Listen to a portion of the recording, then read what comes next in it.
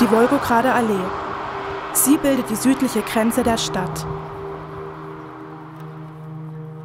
Hier, in der Hausnummer 76, wohnte von April 1999 bis August 2000 der nationalsozialistische Untergrund. Für Uwe Mundlos, Uwe Böhnert und Beate Zschäpe mietete der Verbündete André die Wohnung.